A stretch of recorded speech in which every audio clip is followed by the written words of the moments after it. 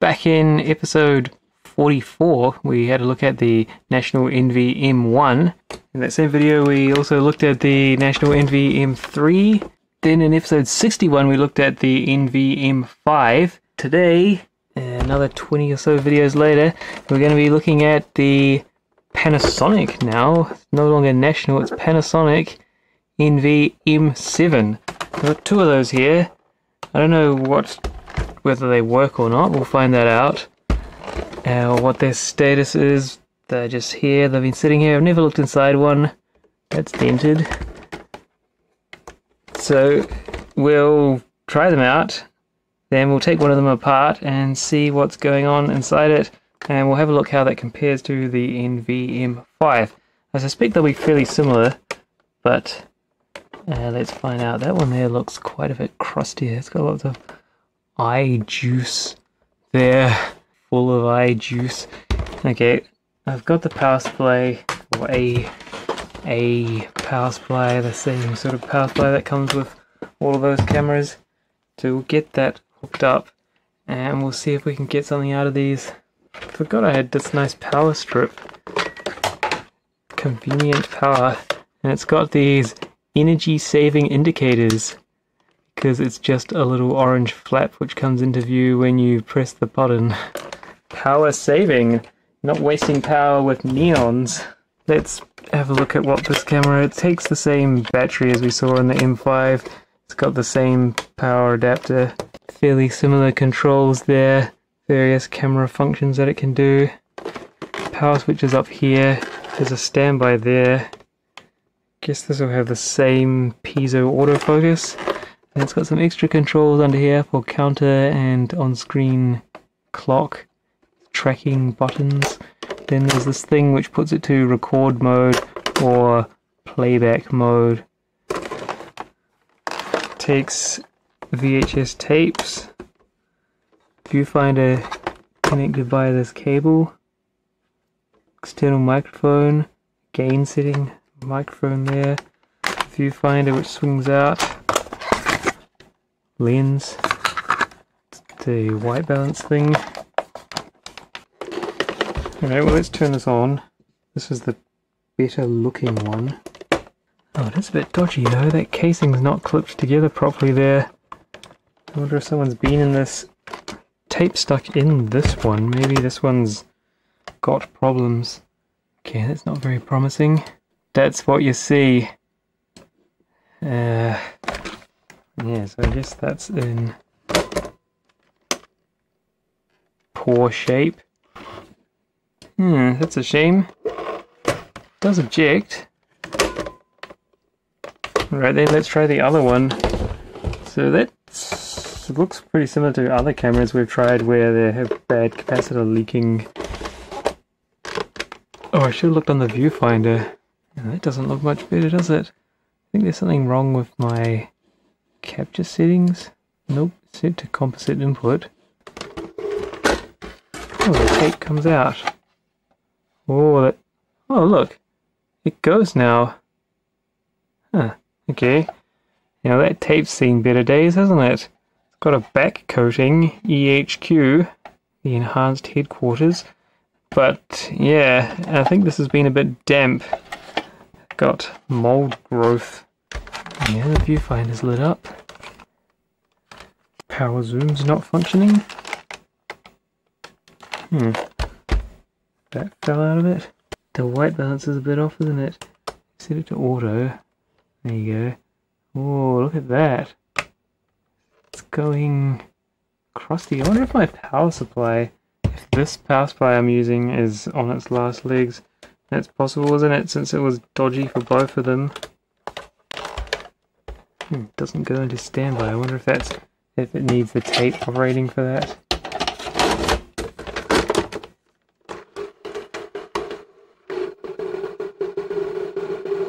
Oh, doesn't sound the best, does it? Hmm. Didn't chew it or lose it. Interesting. Yeah, uh, perhaps I'll grab another power supply and we'll try it, just in case it's the power supply that's dodgy here and not giving a clean voltage to the camera. Another adapter. Same sort of thing. This is the M7 one, okay. So yeah, it's the actual one. It's got a weird plug on it. Yeah, this one here that we're using right now is the M1 one. The one that would come with an M1. So it's the same thing every time, but they just put a model number on it for sort of matches adapter for M1 that matches the camera model. Although they do change this front bit because that one can take those batteries that the M1 and M3 take, whereas that one is just covered over and you have to charge the batteries by plugging them in with an adapter. Anyway, let's see. This one will power up. This good thing. Yes, power up. I think that's ever been unwrapped. Probably. Yeah. Uh, this looks quite cleanly rolled up for something that should be 20 or whatever years old. It seems pretty similar, doesn't it? So maybe it wasn't the power supply that's the problem. Unless they're all dead, which it wouldn't be surprising, would it? let's see if there's something on this tape. Think it's just an empty tape. Could try recording on it. Let's put on the counter. Oh, it probably only comes up in there. Yeah. So it is recording. Is it? No, I don't think it's recording. Now it's recording. And it's struggling a bit, isn't it? Probably didn't record enough to actually matter.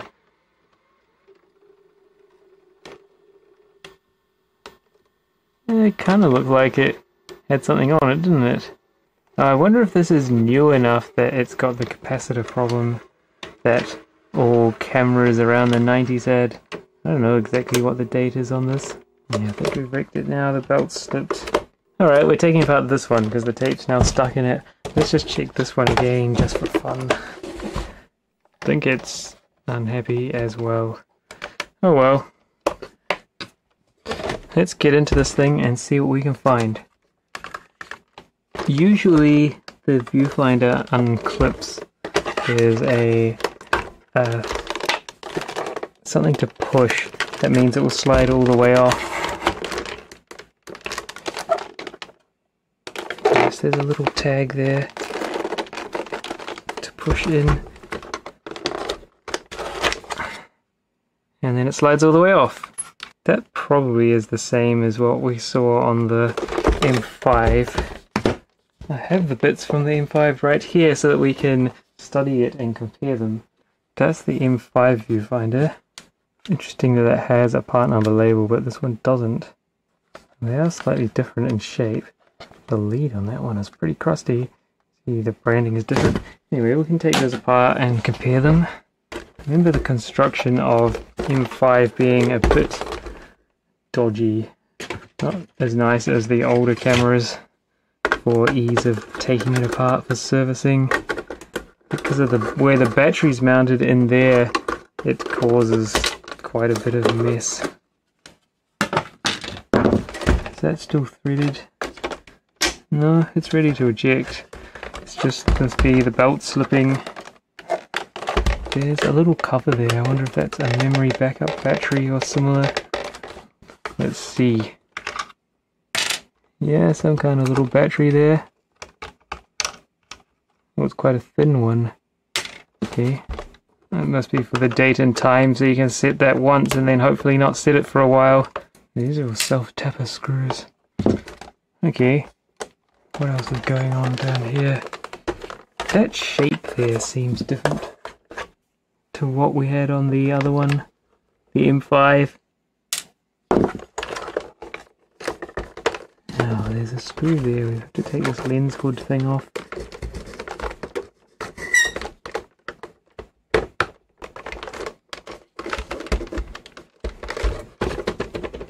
there's some tiny screws there. I'm not sure if they're involved in taking apart. They look more like holding that board together in place. Microphone comes off, unplugs. Clip there. Oh, look at that. There's a screw there.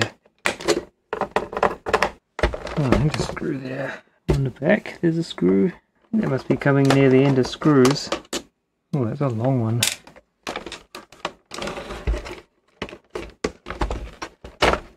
Here we go.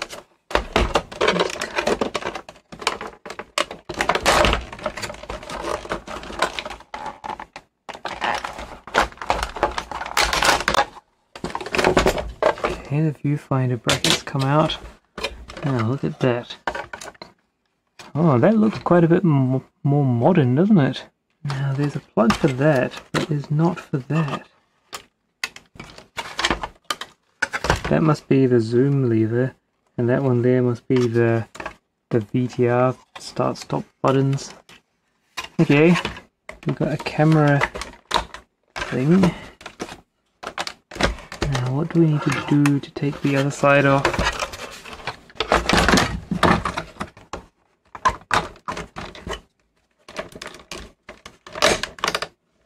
Oh There's some clips.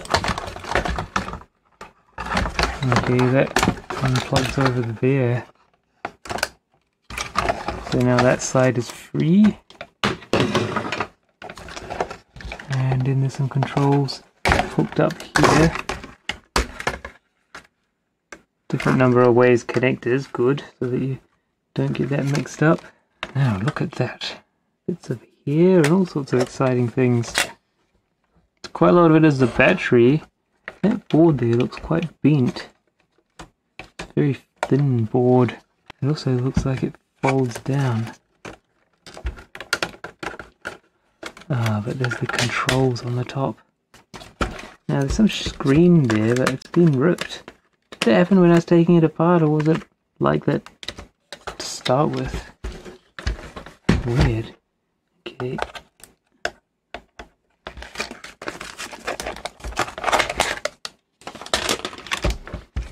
Alright. That's controls for the camera section for doing all those special effects. Is that the only thing joining up the camera section? Could be. That's the viewfinder there with the viewfinder plug. And it's pretty flimsy. But there's some red screws there. Guess that will take off the whole camera section. Let's try that. Uh, the ribbon cable is a bit in the way. Oh, look at that. Okay, so the only thing hooking up, that's the viewfinder cable. But the only thing joining the camera part to the VCR section is that flex cable there. Where is that side easier to undo or this side? That side. As long as we remember which way around it goes. Okay, there's the camera part. There are red screws there. Take this bracket off. Yeah, so the zoom didn't work. Power zoom. Oh, that sensor. Okay.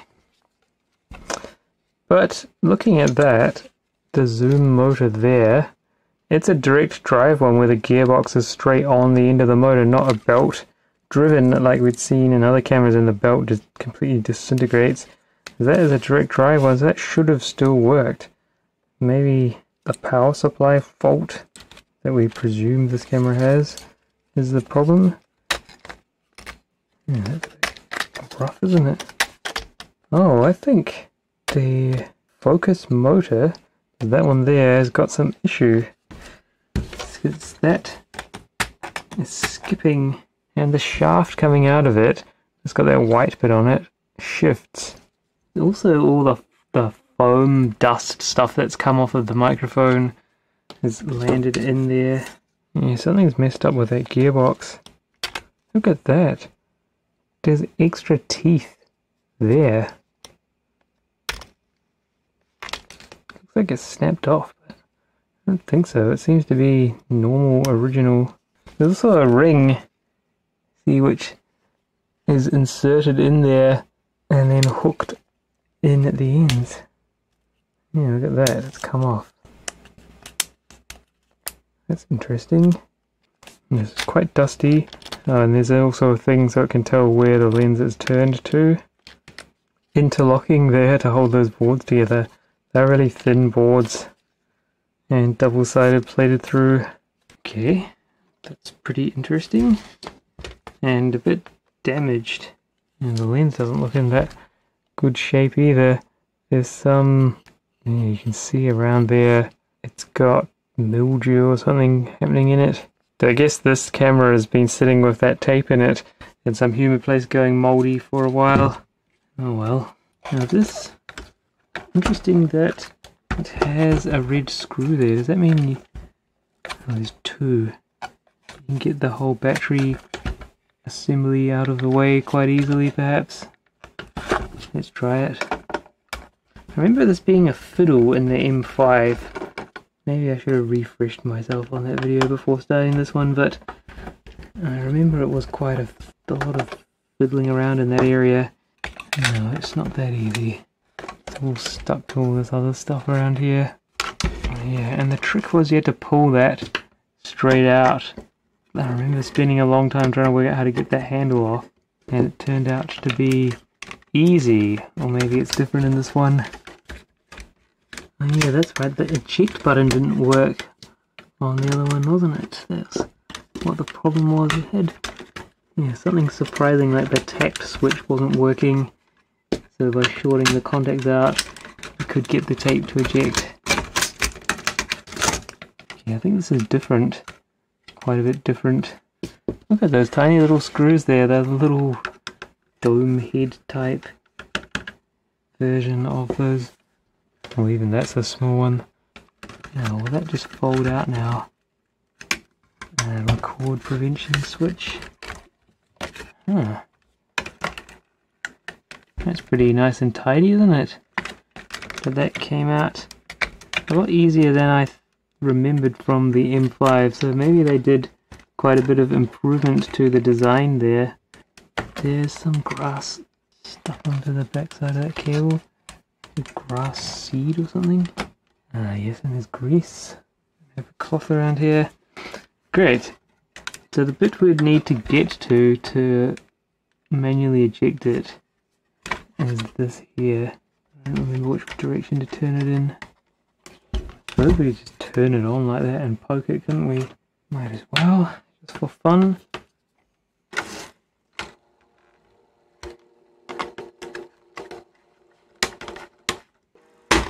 Yeah, so it was actually the capstan, the belt from the capstan to the idler for the take up that wasn't moving, not the loading belt.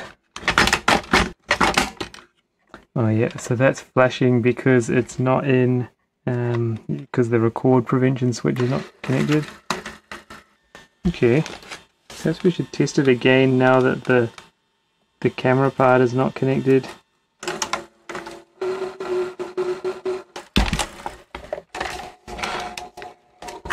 Oh, it's getting stuck again, isn't it? Alright, let's uh, wipe my fingers first and we try it. Alright, let's see what this does.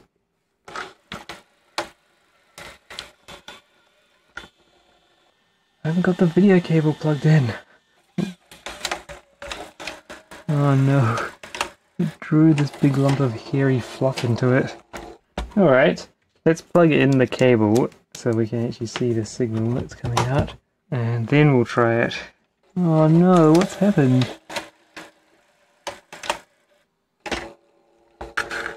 Did mold or something get in there? The head doesn't look all that good I think because some of all that fluff that was at the bottom got trapped. Oh, but there's also a mold on the tape. We'll get rid of that tape then. And we'll try another test tape. Uh, we should probably clean everything. It's going to be dirty and bad, isn't it? Oh, look at that. Removing the tracking over. Get a black and white picture. Okay, so it sort of works. I don't know why it's not in color. Oh, that tape runs a lot better than the other one, doesn't it? It can actually rewind and fast forward. Look at that. Rewind works, fast forward works. Yeah, I think the moldy tape is all stuck because it's not making that weird clicking noise either. Let's just try that mold tape again, just fast forward it for a bit and see if it gets stuck. I'm guessing the yeah, the mold is gluing it together now. Oh, it does move a little bit.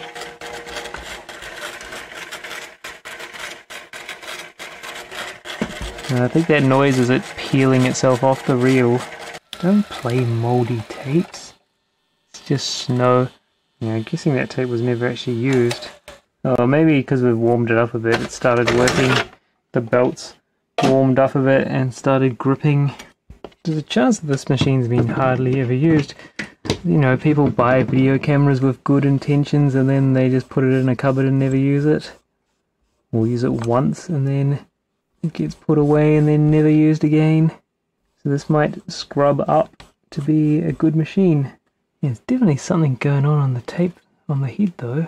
It's like some ink is on there. You can feel the head protrusion. It's not bad. But what is that? Oh, Unless I'm touching it on some... Oh, look. oh, I think it's the part number of the drum. That's what it is. Okay. That's not coming off the head. There's a part number there printed on the side of the stationary part which I'm accidentally wiping off. Okay. That's more normal. The capstan's pretty gross and dirty as well. Back tension band, tape, loading guides. Uh, pinch roll is also a bit crusty. Okay, so this is a well used, sort of well used machine. Okay, good, that will dry out in no time. Oh, it's making that sound again.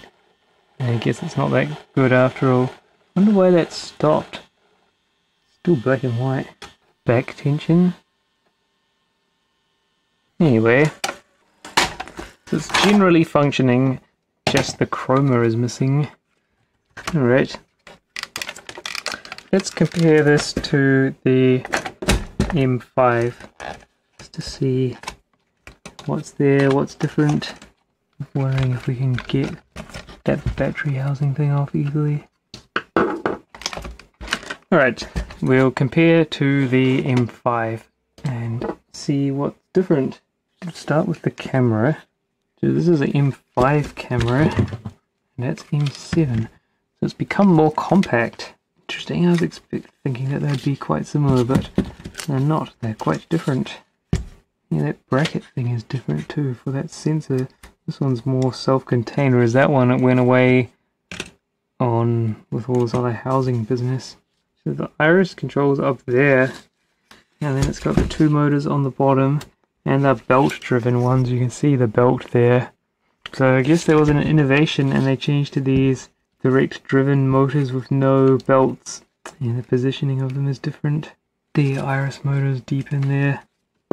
Kind of connected to that. Okay, so it was more normal cable to join the camera part to the rest of the VCR. And just that's been changed to a thin ribbon cable. Similar number of pins. Hmm, I think you might have to take that one off first because it pushes onto connectors. Pushes onto there, onto there, and then there's that hooked in board. I want to take the focus motor off. I thought we were doing a comparison. Okay, we're doing this as well. Let's take off the focus motor and see what gives.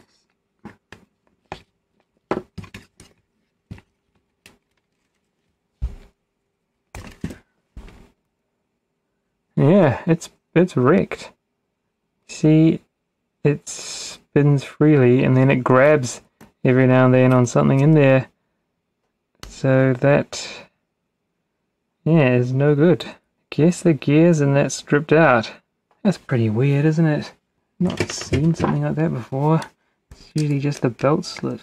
Oh, that just pops, slides off easily. I don't know if there's any... Will the... Let's see. Oh yeah I Was going to say, I didn't think you could get the gearbox apart, but it's apart. It's really apart. Ready?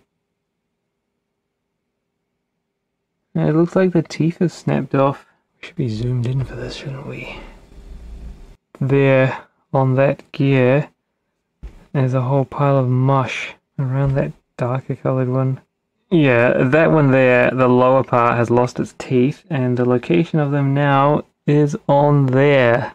You can see them sitting on that gear there like little ants, which used to be around that. So, yeah, that's had it. Sad? I don't know why that happened.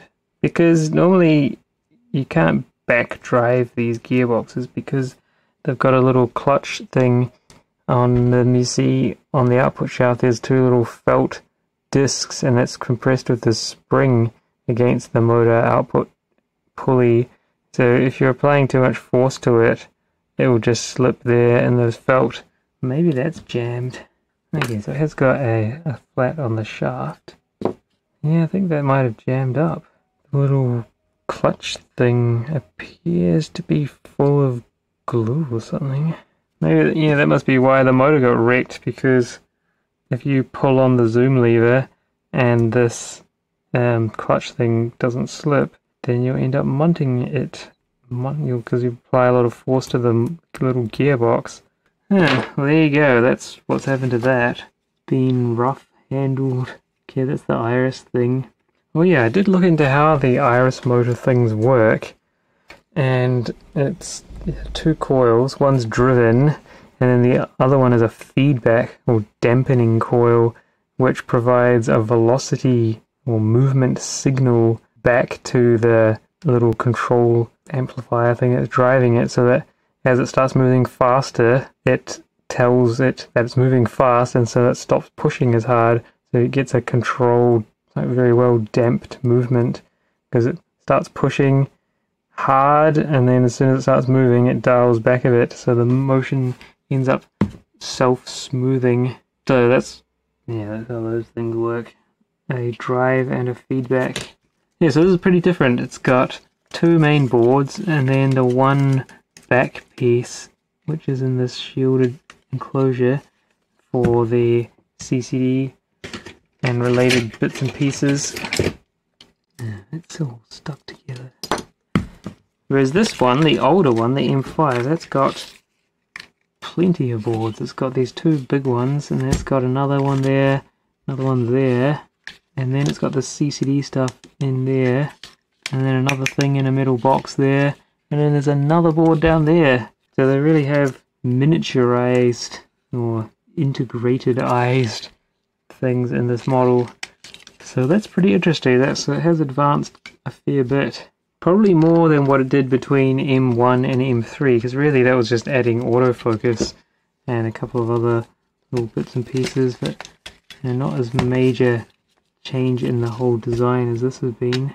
Okay, so it's got a board, but that's not the one that the sensor is mounted on. But it's got a ribbon, a ribbon coming off of it, and then yeah, the sensor board, sensors down in there, under some layers.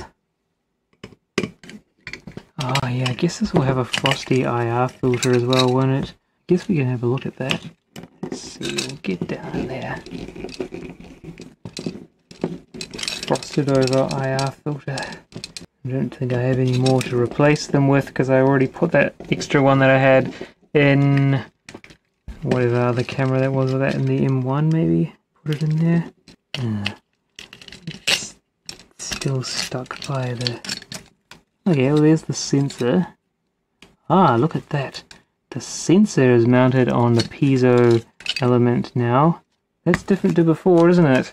Because before... Oh no, I think it's the same. Yeah. Hmm. Wasn't there a lens mounted in the piezo thing before? Pretty sure it's that disc there. Pretty sure that was a lens anyway. You have to go and watch the other video of the M5 to find out. Cario is flapping around because they keep getting in the way of the camera. The IR filter is clean, doesn't seem to have that problem, and the image sensor is mounted on piezo. Okay, well, that's quite exciting. Well, it's good that the IR filter is in a good condition. So that cable there, pink and brown wire, is the one that drives the piezo element. Just put a bit of this stuff back together. Then we'll take a look at the mechanical part and the other boards.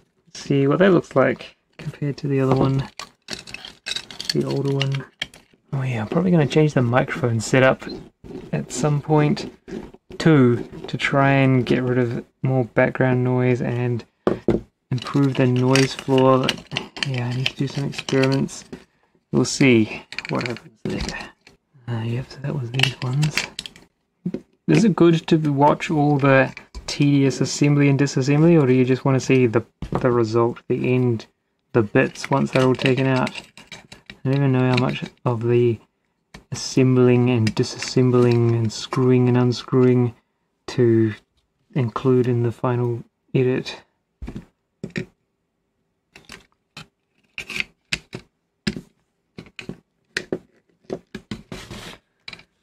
Okay, just put this shield back on and then we'll move on. Okay, there's the camera because it's much more compact and more integrated than the other one, so that is interesting. Alright, this is the mechanical bits from the M5. It's fairly dismantled. Ah, the input adapter multi-pin connector it was down here on the M5 but it's moved up on the M7 okay we did get that stripped down to the same shaped thing you see it uses the tact switches that have LEDs in the center of them whereas this one it's just the basic ones and LEDs next to the switches this is much fancier isn't it light up buttons there's the board so how similar is this It's not similar at all uh, would be good if we can get all this other stuff out of the way. Just so we can have a proper look at it. Ah, oh, look, here we go. And screw somewhere down here, isn't there? So there's the battery housing coming out. But there's some stuff attached. Now we have to cut off a cable tie to free the wires that come from the battery connector and those clock that clock battery cable so that's going to come out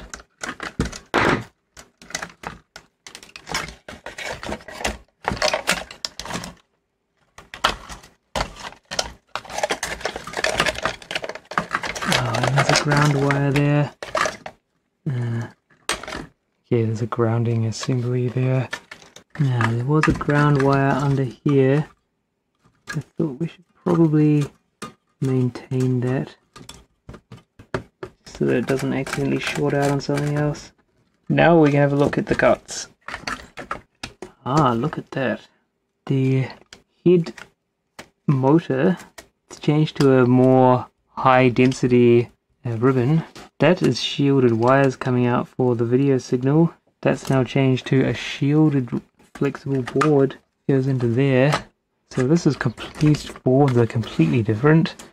That's got soldered in hybrid module things with surface mount stuff on them. Whereas this, it seems they've just put more of it on the actual board. Toshiba chip the same. Now that thing there, different part number, I guess that's some sort of CPU thing. This motor driver, that weird capstan motor driver, comes down to there that be a 6430S. That's the same part number there. It's just in a different position. That there looks like the audio circuit. That's there the same. Just had another board there. That's audio as well. Oh, that's power there. Power, not audio. Yeah, so the audio is up there on the mic, whereas it's not on this. See, they've moved all that away and so the audio is now all integrated onto this main board. Oh yes, it looks like that part there. Yes, it says audio. And so that's luminance there, color there, the audio, the servo, the system control, and the power all nicely integrated. So apart from that, has this changed much? Well, the head is a lot slimmer now. It's using a more compact motor, so that's deeper than that. That's got a bigger motor in it. The capstan motor is probably the same. The loading motors and gears assembly looks pretty similar. And yeah, that's the same there. Mode switch, same. Wire going to the LED for the end sensors looks the same. I guess that's where the camera plugged in on that one. I think so, looks like the right number of pins and how long the wire is coming off the camera assembly. There's this one, it's right on the edge there. This is NEC manufactured board, and that's the same here. There's NEC on it. Now let's check, on the other side. What have we got here? Ah, changed to a plastic thrust bearing thing for the capstan. That's cheaping out, isn't it? And also here, metal guide rail for the, the tape guide, the rail that slides along. Changed to plastic here, so that's more cheaping out. And the molding has changed a bit there. There's some like ground down surfaces there, which don't exist on this one, unless that's one of them. Ah, the end bits that receive the tape guides, metal or cast alloy stuff, whereas it's plastic there, that one's still metal. The weights feels about the same. Guess they're trying to lower the weight of it by changing stuff to plastic. Sometimes that has a bad effect of unreliable stuff cracks and breaks. The head is definitely a much newer design. That head is wrecked. It's very dirty. Still got that thing. Not sure what that is. There's a soft eject device down there, which is a governor type thing. Where's this one? Ah, that's over there now. That will be a thing that's a pulley in some thick grease, which makes it difficult to turn, so that will make the eject softer. There's this one, it's down there. That little thing there. Wow, so that's a look inside a Panasonic NVM7 VHS movie video camera and a comparison between the previous model NVM5 and there's some quite interesting differences that were unexpected so they have done a fair bit of work to miniaturize and integrate uh, the various bits and pieces final thing let's take a look in the viewfinder see if that's got anything interesting going on in it then in some weeks or months we'll do the final video in this series. Unless we try to repair on the color of that. I don't know, I might have a look at that. Depends. Uh, anyway, the final video will be a teardown and investigation of the NVMS1. I've got one of those sitting over there. So that's, I think it's based on the M7, I'm not sure. We'll find out though but it's an SVHS version. So it gives you, yeah, I'm guessing there's places on the board where the SVHS circuitries would go, but we'll find out. Oh, look at that. It's ground itself away to a dust. So here's the viewfinder board. Oh, yeah, it's got the the usual one of those things, isn't it? 2510S. Yep, the 2510S chip is the one that was used in the M3 viewfinder and presumably M1 as well. That's the sync separator and deflection driving IC. And then so that does most of the, the heavy lifting. Then there's yeah, a surface mount, there's probably that. Drives the flyback and then and the other deflection and then there's some high voltage stuff going on there which they've wrapped the input cable around the high voltage wires, which is these two various grids and things. Yeah, because that there's a deep recess there, focus brightness. Focus brightness. And yeah, that goes to those. Oh, they've labeled it. Look at that. Grid 3, grid 2. Looks like it could have had a tally light on it as well. Yeah, that connector would have been one extra pin if that was the case. I wonder what that is. Um, usually be a power and a ground, a video, might be another power supply, and then it will have horizontal and vertical sync pulses coming out of it. And I don't know what the other wire is because that does sync separation, so it can provide H and V sync pulses, and then that gets used by the the character generator on the board to make the little on-screen display stuff that's then synchronized to the video. And there's a little CRT there.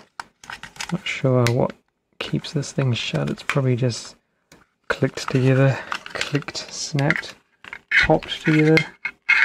Very lacking in screws, which is not very nice if you want to take it apart and not destroy it in the process.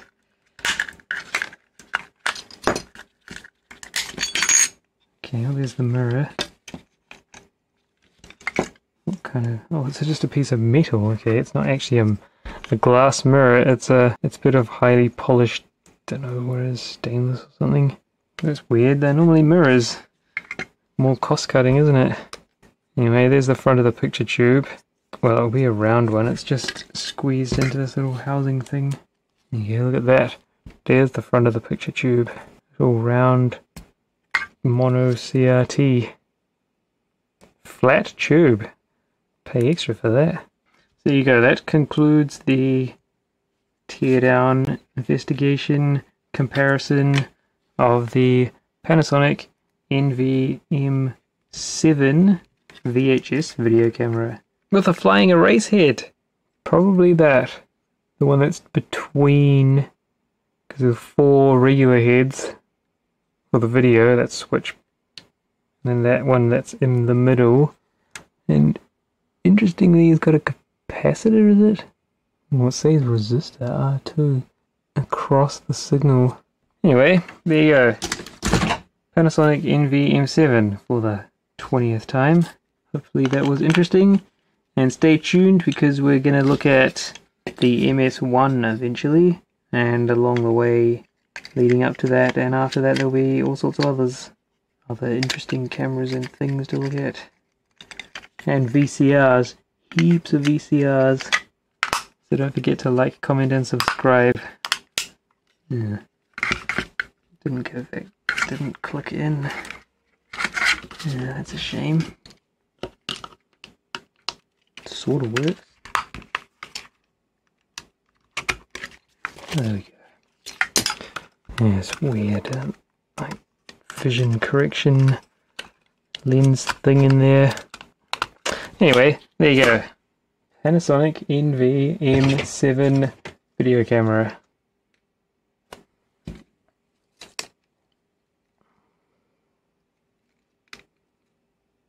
with mold and mildew and things in it.